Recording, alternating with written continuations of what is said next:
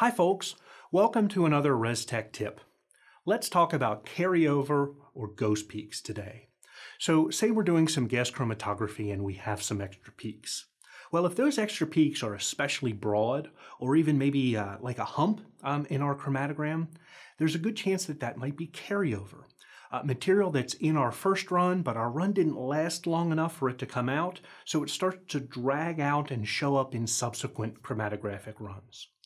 How can we check for this? Probably the best technique is to do a no injection instrument blank. We just run the instrument without making an injection.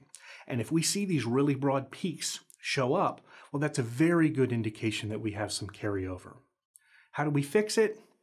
Probably something along the lines of increasing our runtime or taking our run up to a higher temperature or maybe even both of those. Now say we have some extra peaks, but they're not particularly broad. They have, they have nice peak shape. Uh, we'd usually call those ghost peaks. And because they're nice looking peaks, we know they've chromatographed, right? So that means they've been introduced into the system towards the front uh, maybe in our injection or, or contamination in the injection port, or perhaps even something like contamination hanging out in our syringe, uh, a bad rinse file, um, or a dry rinse file, or even something uh, with how we've prepared our sample.